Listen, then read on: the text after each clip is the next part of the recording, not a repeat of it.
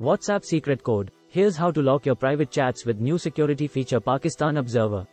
Instant messaging app WhatsApp continues to roll out the latest several features, and now it allows users to put a secret code to unlock specific chats. These options by Meta-owned platform allow WhatsApp users to have full privacy and with the latest feature in place, unauthorized people cannot be able to access your coveted chats, even if the phone is not locked. Improving the security of WhatsApp account involves various measures to protect your personal information and communications.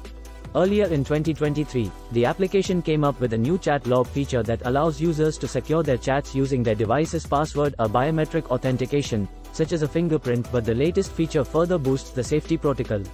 With the upgraded security feature, a secret code enables users to set a unique password, which is different from their device's password, and it aims to hide locked chats folder from the main chat list.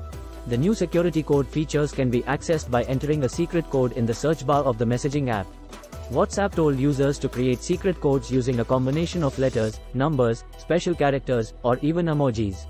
Furthermore, for those who decided against hiding their locked chats, the option to keep them with other messages in the chat list is still available. The messaging app is set to advanced search features, privacy issues, and other matters. From two-step verification to fingerprint or face ID lock, and managing group privacy to other options, WhatsApp has changed the messaging experience.